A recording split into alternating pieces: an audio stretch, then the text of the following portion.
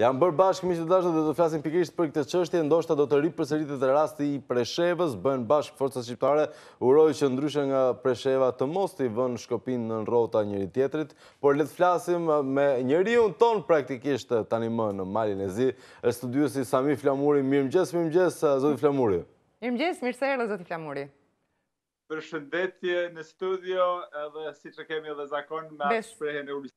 Nadja e mirë nga një vend bregdetar i mrekullueshëm, dua t'i them të dashurit tim në studio se ne nuk e pranojmë fjalën Crna Gora, po Montenegro ndoshta është më bukur sepse ka pak si ma ma një bukuri rrëqethëse, por dua ta them dhe të bashkëngjitem Dua, Dukagjin Lipës i cili thotë që Shqiptarët janë të Kosovës, nuk jemi kosovarë, edhe ne në Ulqin jemi shqiptarë të Ulqinit, shqiptarët e Tuzit janë shqiptarë të Tuzit, të Plavës janë të Plavës dhe të Gucisë janë të Gucisë. Jemi gjithë shqiptarë, jemi, kjo ishte bukuria që po urdhëroni. Kemi një besëlidhje të partive shqiptare nëse mund ta quajmë veprimin e fundit kështu, janë pesë parti të cilat vendosin të dalin të bashkuara, të paraqiten të bashkuara në zgjedhjet e përgjithshme të tridhjetë gushtit. Cila ishte arsyeja që më në fund i bëri bashkë shqiptarët e Malit të Zi? Dua ta ceki pikë së pari se ky lajm nuk ishte dhe fare i drejtë sepse kemi të bëjmë prapë për fat keq me dy tabore shqiptare mu në këto zgjedhje të vitit të domethënë datës tridhjetë e një gusht të cilat do të mbahen në Mal të Zi edhe si po them me një keqardhje të madhe dua të them se edhe pse këto gjashtë subjekte politike u bënë bashkë, janë subjekte shumë të vogla politike, të cilat faktikisht i bëri bashkë diaspora me council, council person Mark Gjonaj, i cili është faktikisht njeriu i cili i bëri shqiptarët dhe listën e Malësisë në Tuz, Malësia na bashkon, e cila për parë sherë në Tuzin, i cili u vitin e kaluar u bë domethënë edhe u shpall si komuna e dytë shqiptare në Mal të Zi, ai domethënë ishte njeriu kyç, i cili me njëfarë lidhje Zoom, se tani koha ishte e Zoomit, arriti që t'i ribashkojë këto parti të fragmentuara shqiptare që dua ta cek për shikuesit tanë në në Shqipëri se faktori domethënë njeri në Mal të Zi, tek shqiptarët është shumë i vogël. Jemi duke folur për një për një popullat vetëm 30.000 vetash, domethënë në Mal të Zi nuk ka më tepër se 30.000 shqiptarë, në mu, se nëntë parti shqiptare, gati 8 subjekte që janë të gjithë të fragmentuar, paramendoni domethënë, ne, ne do të shkojmë me një listë të bashkuar e cila nuk ka po t'i bësh gjithë bashkë as 7.000 deri në 8.000 vota, më kuptoni? Domethënë, kjo Kjo ishte e keqja. E dyta kemi të bëjmë me një sistem i cili nuk nuk na favorizon neve si shqiptarë, domethënë ne faktikisht na favorizon vetëm po të jemi bashkë si një, domethënë kjo është e shqiptarëve në Mal të Zi, po nuk jemi një, domethënë kemi tri parti me një anë dhe pesë me një anë tjetër që nuk na bëjnë domethënë krenarë, na Na na domethënë çka ka ndodhur që është diçka që duhet me të vërtetë ta kemi një farë soj vërejtje për gjithë partitë shqiptare këtu në Mal të Zi, mhm, se ato janë bërë faktikisht një farë soj patericë për partinë në pushtet, që është partia e presidentit aktual të Malit të Zi, Milo Gjukanoviq dhe kryeministrit të tij Dushko Markoviq. Domethënë, partitë shqiptare faktikisht ia japin votën e vet partisë në pushtet pa asnjë kusht. Qartë, do të thotë që kemi të bëjmë me një kulisë, përderisa kemi të bëjmë me një minoritet i cili dukshëm nuk ka pretendime politike, etnike dhe të drejtave të njeriut.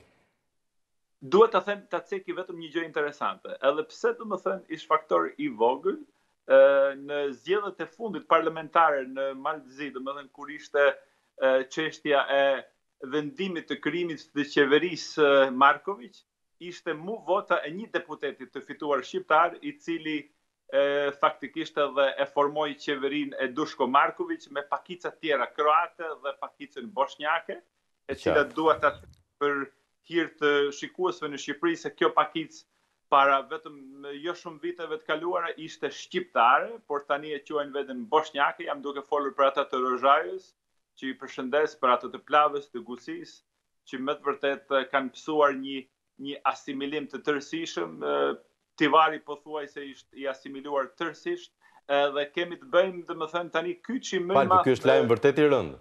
Në qoftë se popullata shqiptare është asimiluar para syve tanë, dhe askush s'e ka trajtuar si çështje.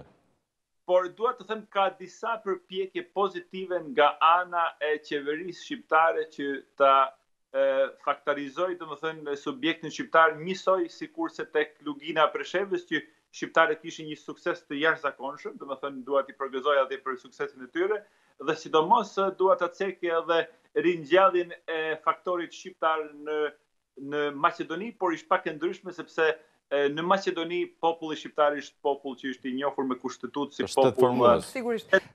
Po. Zoti Flamuri, gjatë gjithë periudhës që kur është shpallur Mali i Zi shtet, që është shkëputur nga Serbia praktikisht, po dhe më parë, faktori shqiptar ka mbështetur, siç thatë që në fillim, partinë kryesore, partinë në pushtet, partinë demokratike socialiste, dhe ndërkohë ajo që ka përfituar, ose mund të themi ajo që s'ka përfituar, është pikërisht një injorim total, kryesisht në investime e më pas edhe në anashkalime të tjera që është bërë gjithë trojeve shqiptare në Mal të Zi.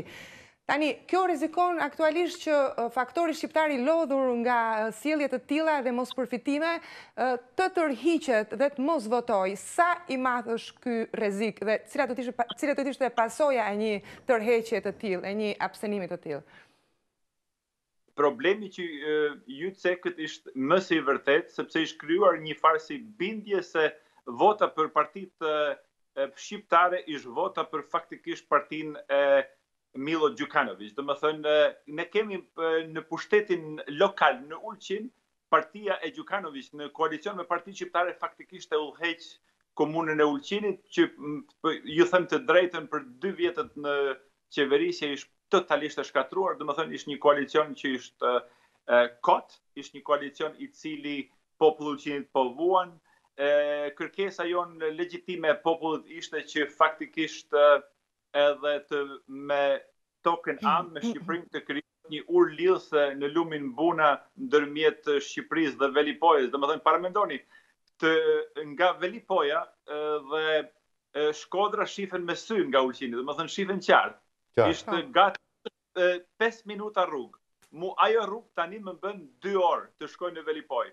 kurse në Tiranë gati tri orë. Domethënë, po qoftë se kjo urë lidhëse do ne kishim Tiranën në një orë, edhe unë do pisha tani kafe me ju dhe mm. nuk do ishim në në lidhje telefonike. Edhe pse, domethënë, çështja e Covidit, siç e dëgjova edhe më parë, E vërtetë është rrugët kanë rëndësi më shumë politike se fizike, por me sa duket edhe mazhoranca aktuale në Shqipëri nuk e ka këtë vizion loje, zoti Flamuri. Shiko, ne duhemi të, të jemi vigilentë që faktikisht të, ne si fëmijët e tokës amë gjithmonë ta ngremë këtë zër, po qoftë se zëri nuk ngrihet, nana nuk i merr fëmijët në gjirin e saj dhe kjo isht domethënë ajo çështje që dua ta preki sidomos për për qeverinë aktuale shqiptare, por dua ta cek edhe një gjë, isht atë që ju folët më parë, shqiptarët në Mal të Zi e, e fragmentuan votën e vet sepse partia e Gjukanoviq diti si t'i ndajë. Domethënë, jemi tuj fol për një popullatë të vogël e cila e ndarë vetëm për hir të liderucave të saj, se s'janë lidera, sepse udhëheqësit kanë vizion, këto nuk kanë vizion fare, vizioni është në xhepat privatë, vizioni është për një klik të vogël të njerëzve që udhëheqin këto parti të vogla politike të cilat faktikisht ngallnjejnë vetëm atë që janë afër liderit edhe kjo ishtë fatkeqësia e popullit shqiptar në Ulqin dhe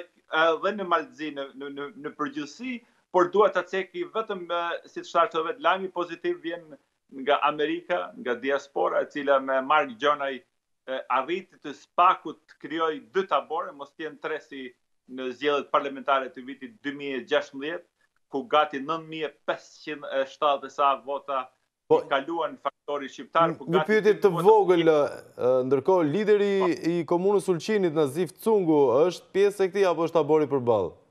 Po, ky ish ish lideri i ish lideri po, i po ish lideri, jo ky ish ish kryetari i i komunës të Ulqinit, por ende dhe sot, domethënë gati 15 vjet është udhëheqës i një partie politike që quhet Forca, por kemi një njeri jashtëzakonisht të aftë në këtë parti që ka emrin në Genci Nimanbegu, i cili ishte edhe nën ishte edhe nënkryetar i parlamentit të Malit të Zi, që me të vërtetë mundohet, po unë them gjithmonë me një lule nuk vjen pranvera, por prapë se prapë s'pakut në parlamentin e Malit të Zi ndëgjohet një zë apo një diçka pozitive për për shqiptarët. Kemi edhe rastin pozitiv të formimit të komunës të Tuzit dhe këtij koalicionit Malësia na bashkon, i cili faktikisht tani Tuzin po e ringjall dhe këtë duhet t'i përgëzoj vëllezërit tonë në Malësi, liderin e tyne Nik Gjeloshaj, i cili në këtë koalicion që u formua nga Mark Gjonaj në Amerikë, po shkojnë me koalicionin që quhet Genci Nimanbegu dhe Nik Gjeloshaj, që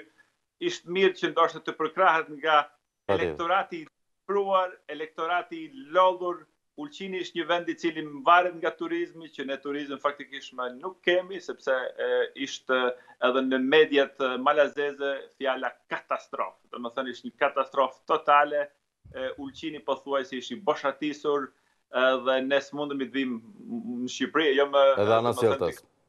Po, ndërkohë po, që ligji elektoral në Mal të Zi është shumë diskriminues për faktorin shqiptar, nuk e nuk e lejon atij hapësirën e përfaqësimit në organet drejtuese. Ndërkohë, cilat janë ambiciet aktuale të liderëve shqiptar për t'u përfaqësuar? E cila është ambicia? Çfarë duan të arrijnë ata? Të paktën zyrtarisht. Shiko, ne themi, domethënë, fshati që shifet nuk kërkon kallauz, domethënë, dua ta ceki një gjë. Kemi problemet i kemi të ngrumulluara me vite. Ne jemi tash 30 vite që jemi në sistemin shumëpartiak apo pluralist në Mal Zi, që nga viti 2006 Mali Zi u shpall i pavarur, edhe shqiptarët faktikisht përveç shkatërrimit nuk arritën asgjë, kurse DPS-i arriti atë që nuk arriti kurrë, domethënë të bëhet zot në Ulqin dhe ta sundojë Ulqinin dhe ambiciet politike shqiptare janë të me të vërtetë janë ato që janë ambicionet që ndoshta i ka Shqipëria si shtet, domethënë ambiciet të jemi në Bashkimin Europian, e ambiciet që Mali Zi të bëhet domethënë faktikisht një faktor i rëndësishëm, t'i kemi kufiret e hapur me tokën amë, por gjithashtu nga ana e shqiptarëve, si shqiptarë ne i kemi domethënë probleme sepse këtu e kemi problemin e ikjes, kemi ikjen totale, kemi dy Ulqina në në në Staten Island të Amerikës, në New York. Domethënë kemi kemi një një një rini marramendës që ka dalë jashtë. shtetit domethënë që s'do të kthehen kurrë. Kjo ishtë mëkati apo gjynah. Siç duket paska qenë fati i shqiptarëve ky zoti Flamur se e njëjta gjë po ndodh edhe me me Shqipërinë, me Republikën, kështu që Po, ishtë isht, isht një gjë me të vërtetë që nuk dua, nuk dua ta potencoj sa me, me dhimbje kam, dhe, sepse... Dhe të imagjinosh që jemi një shtet uh, unik në botë si askush që rrethohemi vetëm nga toka tona. Po, po, ne rrethohemi me tokat tona. Vetëm nga tokat tona. Po vazhduan kështu po. edhe kontinentet do jenë tonat. Faik Konica thoshte moti që armiku më i madh i shqiptarit është vetë shqiptari. Edhe këtë po e demonstrojmë Nuk kemi të Le të shpresojmë jo, zoti Flamur që kësaj radhe ndoshta ajo armiqësi do të lihet mënjanë për një moment dhe vota do të jetë një votë kuqezi në zgjedhjet e ardhshme të Malit të Zi. Po, a ka ndonjë shpresë gjatë këtij muaji të kemi ndonjë zhvillim pozitiv sa do të vogël në anën e faktorit shqiptar. Gjatë muajit gusht deri në në ditën e zgjedhjeve. Po. po shpresa vdes e fundit. Edhe unë them. Votimi kuqezi ishte i vetmi votim që ne shqiptarit duhet ta konsiderojmë. Edhe pse e, si thashë edhe vet, DPS-i, partia e Gjukanoviqit e fragmentoi domethënë shqiptarin dhe e heli, kemi gjithë shqiptarit i kemi në parti malazeze, domethënë i kemi edhe në parti qytetare malazeze, kjo ishtë Ishtë një ishtë një ishtë një humbje kot fare sepse këto parti domethënë nuk bëjnë asgjë për ne shqiptarët. Domethënë e vetmja udhë ishtë udha domethënë e bashkimit në një subjekt politik. Ajo ishtë domethënë vetëm uniteti na bashkon atë domethënë nuk kam nuk kam pushim të pushuarit të them sepse po u votohet kuq e zi ne bëhemi faktori që mundemi të bëjmë me të vërtetë një ndryshim për shqiptarët në Mal të Zi, sidomos për rikthimin e diasporës. Ashtu qoftë zoti Flamur dhe ne të falenderojmë për këtë zgjim të hershëm ditën e sotme dhe të urojmë një gusht të mbarë. Faleminderit shumë. Ishte zgjim i këndshëm me kafen me ju dhe shpresoj që kafen tjetër ta pimë n'Ulqin së bashku. Me kresi. Me shumë kënaqësi, por nuk nuk do jemi këtu javës që vjen. Gjithsesi do rishihemi, do rishihemi në në muajt në vijim besoj. Por mund t'jemi në Ulqin, javën që vjen. A, po. Oke, shumë faleminderit, ditën e mbarë.